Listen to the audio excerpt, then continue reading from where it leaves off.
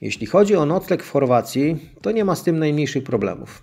Opcji jest co najmniej kilka i zacznę od tych moim zdaniem najgorszych opcji, a skończę na tych e, najlepszych, co wcale nie oznacza, że będą to najdroższe opcje. No to lecimy. Najgorszym rozwiązaniem, jakie możemy sobie wybrać, to jest biwak na dziko. Nie chodzi o to, że najprawdopodobniej nie będzie możliwości umycia się. Chodzi o to, że w Chorwacji jest to nielegalne i można za dziki biwak pod namiotem załapać się na mandat karny, a w najlepszym wypadku na nieprzyjemności słowne. O ile policja chorwacka podchodzi do tego na luzie, to już zwykli ludzie niekoniecznie, bo mają świadomość, że biwak na dziko nie zostawia u nich pieniędzy, a jedynie śmieci. Policja sama z siebie raczej kłopotów nie narobi, ale powiadomienie policji przez obywatela to już jak najbardziej tak. Miejsca biwakowe nie mogą więc być przypadkowe, wyszukane na szybko gdzieś tam przy drodze, gdzie jesteśmy widoczni. To koniecznie musi być miejsce, gdzie wzrok innych ludzi nie sięgnie aż do samego rana. My z kolegą Marcinem korzystaliśmy z kilku miejscówek, jakie znaleźliśmy na stronie grupabiwakowa.pl. Tam są sprawdzone miejscówki i faktycznie miejsca biwakowe są usytuowane w taki sposób, że bez większych problemów i obaw można sobie rozłożyć namiot i spać do świtu. Niestety, wraz ze wschodem słońca należy zwinąć się czym prędzej, aby nie było podstaw do nieprzyjemności. Jeśli jest jakiekolwiek zagrożenie, że w czasie snu możemy zostać wykryci, to proponuję nie rozkładać namiotów, ale spać w tym, w czym jedziemy. Jedynie coś na głowę, jakaś szmata na twarz, aby komary nas nie zjadły. W razie wpadki po prostu wstajemy i się oddalamy na motocyklach. Po prostu. Temperatura w nocy jak najbardziej pozwala na takie rzeczy. W czasie naszego pobytu komary były wszędzie i trzeba mieć to na uwadze. Środki przeciwko marom proponuję kupować e, w Chorwacji, bo te z Polski są wyraźnie mniej skuteczne, żeby nie powiedzieć wcale nieskuteczne. Jeśli chodzi o dostęp e, z takiego biwaku do wody, to bywa z tym naprawdę różnie. Dwa razy byliśmy nad wodą, z czego raz to był staw rybny, gdzie woda nie była zdatna do nawet umycia rąk. Po prostu było to bajora z żabami a drugim razem y, udało nam się zająć przepiękną miejscówkę nad jeziorem, gdzie spokojnie można było się wykąpać, no co oczywiście uczyniliśmy. Trzecim razem mieliśmy miejscówkę całkowicie nielegalną u jakiegoś niczego nieświadomego właściciela gaju oliwnego między drzewkami. Innym razem spaliśmy w okolicach Dubrownika na wzgórzu Utrwda Imperial, niedaleko punktu widokowego. Za każdym razem niczego niepokojącego nam się nie przydarzyło, nikt nam nie przeszkadzał, nikt nie próbował przegonić, nikt nie powiadamiał policji. Niemniej spanie ze świadomością, że jest to nielegalne, nie było łatwe. Jednak należy przyznać, że tym sposobem zaoszczędziliśmy mnóstwo pieniędzy, które później mogliśmy zainwestować w inne rzeczy. Niestety jest to opcja najgorsza, bo nie mam możliwości wyprania sobie ubrania, umycia się. No, oczywiście z jednym wyjątkiem była taka możliwość. Niemniej umyte ciało zapakowane i tak w przepocone ubranie motocyklowe po chwili i tak było brudne jak kilka godzin wcześniej. Druga opcja, taka trochę nieco lepsza, to są kempingi. Jest ich bardzo dużo wzdłuż całego wybrzeża i nie tylko. Jeśli mamy zamiar rozkładać namiot w takim miejscu, należy się upewnić, że jest taka możliwość, bo część kempingów ma zakaz rozstawiania namiotów i można tam zamieszkać jedynie wynajmując jakiś domek albo kontener mieszkalny. Ewentualnie można wjechać tam i, i jakimś własnym kamperem.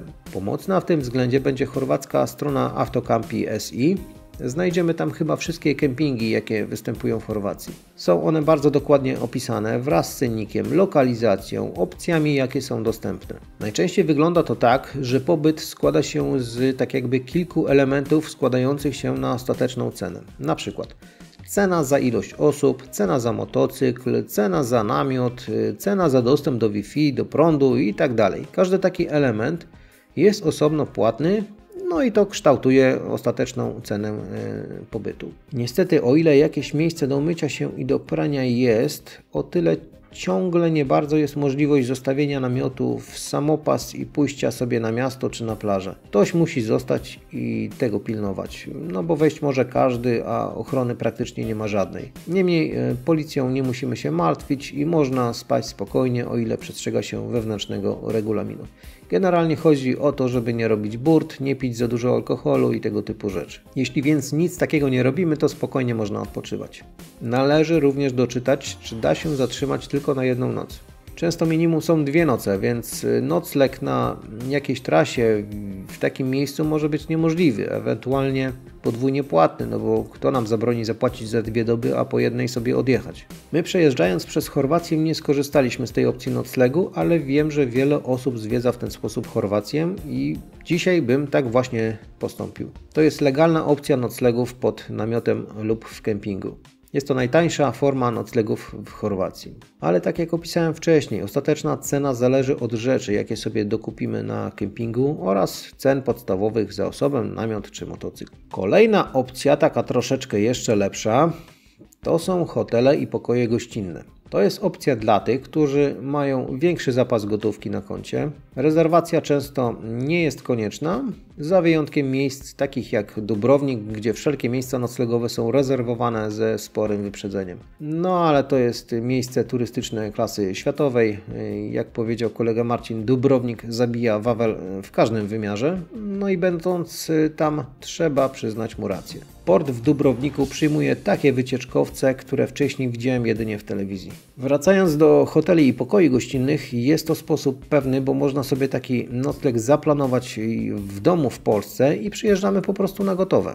W zależności od standardu możemy liczyć na łazienkę w pokoju, a jeśli to jest apartament w hotelu, to na dodatkową sypialnię czy kuchnię. Podobnie z pokojami gościnnymi, które zazwyczaj są nieco tańsze od hoteli, ale ciężko trafić na pokoje, które mają łazienkę na wyłączność. A poza tym pokoje gościnne usytuowane są raczej na obrzeżach miast. W przeciwieństwie do hoteli nie można za bardzo liczyć na śniadanie czy inne posiłki, bo płacimy wyłącznie za miejsce do spania, a ewentualnie za pokój. Ale tak jak w przypadku hoteli, dużym plusem jest możliwość rezerwacji pokoju z dużym wyprzedzeniem z Polski, np. przez internet lub telefon. Ostatnią opcją, którą osobiście polecam, to apartamenty prywatne. Nie jest to najtańsza opcja, ale, że tak powiem, najbardziej wypasiona. Śmiało można w takim apartamencie mieszkać z całą rodziną, a nierzadko dwie sypialnie umożliwiają nocleg dwóm rodzinom lub większej ilości znajomych. Płaci się za apartament i w większości przypadków właścicieli nie interesuje ile osób będzie tam spało. Oczywiście jeśli się zakwaterowaliśmy na liczbę mniejszą niż pojemność apartamentu, to płacimy odpowiednio mniej, pomimo że apartament mamy cały do dyspozycji. Tutaj niestety nie ma możliwości, aby przyjąć gości na noc. Taka możliwość jest, gdy płacimy wszystkie miejsca, wtedy cena zatrzymuje się i kolejne osoby śpią w ramach tej ceny. Właściciel przestaje się tym interesować. My z Barcinem tak mieliśmy. Zapłaciliśmy w miejscowości Seni za apartament o pojemności 5 osób, ale było nas dwóch, więc zapłaciliśmy za dwie osoby. Pomimo wolnych miejsc, niestety nie mogliśmy nikogo więcej przyjąć na nocleg. Chociaż trzeba przyznać, że nikt tego nie kontrolował aż tak bardzo restrykcyjnie i jakby kogoś e, cichaczem przyprowadzić, to może i by się udało. No ale nie róbmy cebuli. Jak znaleźć taki apartament? No w zasadzie to właściciele sami nas szukają. Jadąc z północy na południe wzdłuż wybrzeża, co jakiś czas mijaliśmy ludzi machających do nas tabliczkami z napisem apartamenti. Apartamenti to nie jest nazwa plemienia zamieszkującego daną miejscowość, a tłumaczenie słowa apartamenty. Po prostu zatrzymujemy się obok takiej osoby i wysłuchujemy, co nam ma do zaoferowania. Cena za dobę takiego apartamentu zależy w dużej mierze od miasta, w jakim e, go szukamy oraz od jego wielkości. Przede wszystkim jednak cena zależy od odległości od morza. Na przykład za apartament przy samym morzu trzeba zapłacić jakieś 90 euro za dobę, a taki sam apartament oddalony około 300 metrów od morza trzeba zapłacić 30 euro za dobę, czyli 1 trzecią. Jak na standardy chorwackie 300 metrów to jest bardzo daleko, no ale osoby przyzwyczajone do standardów Morza Bałtyckiego raczej będą zadowoleni. No słuchajcie, sprawa jest taka. To jest uliczka do naszej naszego apartamentu. Stąd nie widać. Tutaj może będzie widać. Jaki to jest eee, podjazd stromy. Nie wiem, może tak stanę. Też nie widać. Tutaj trochę widać. I myślicie, że to jest stroma. Nie. Stroma to jest tu.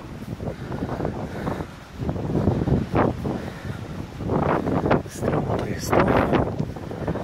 Ja tutaj musiałem wjeżdżać aferą z kuframi obładowanych chyba ze 300 kg albo lepiej i manewrować po tej uliczce, bo tutaj jest normalny ruch.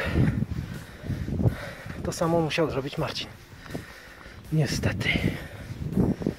a zabić się można było, przed nami jechał skuter, który co chwilę miał potrzebę się zatrzymać. Teraz wyobraźcie sobie, że jedziecie ciężkim motocyklem, zatrzymujecie się pod taką górę trzeba wystartować. W tym miejscu taka moja mała, ale istotna uwaga. Ludzi indywidualnie oferujących apartamenty zobaczymy wyłącznie wtedy, jak jedziemy na południe.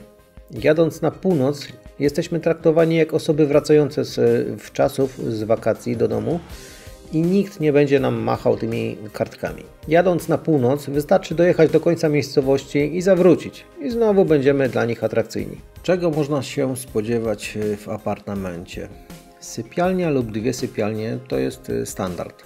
Osobna kuchnia lub przynajmniej aneks kuchenny z pełnym wyposażeniem to jest standard. Łazienka z prysznicem to jest standard. Nie zawsze jest pralka, ale dla chcącego nic trudnego i można sobie wybrać rzeczy w inny sposób. Pranie w Chorwacji schnie bardzo szybko ze względu na wysoką temperaturę i dość sporą cyrkulację powietrza. Nie jestem w stanie powiedzieć, czy powietrze było wilgotne czy suche. Pranie schło w przeciągu kilku godzin, więc na przykład e, wchodząc do apartamentu około godziny 18 i w miarę możliwości zaczynając od prania, na rano wszystko było suche. Spodnie były nieco wilgotne, ale dla mnie to akurat na plus bo miałem kilka minut chłodzenia w czasie jazdy. Koszulkę, która jest jeszcze wilgotna, spokojnie można zakładać na siebie, bo w sezonie temperatura rzadko spada poniżej 20 stopni w nocy, a w dzień zazwyczaj przekracza 30 stopni, więc wilgotna koszulka pomaga schładzać e, po prostu organizm.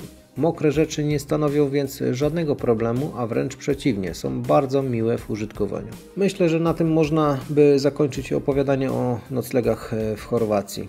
Zapraszam do oglądania kolejnego odcinka, w którym podpowiem w jaki sposób można tanio i całkiem smacznie zjeść. Tym bardziej polecam ten odcinek osobom, które nasłuchały się e, opowieści, że w Chorwacji jedzenie jest bardzo drogie i koniecznie trzeba zabrać jedzenie z Polski.